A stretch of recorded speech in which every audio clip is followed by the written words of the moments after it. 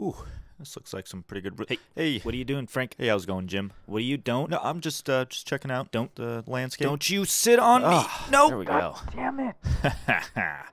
Unbelievable. You see what I have to deal with, Oh,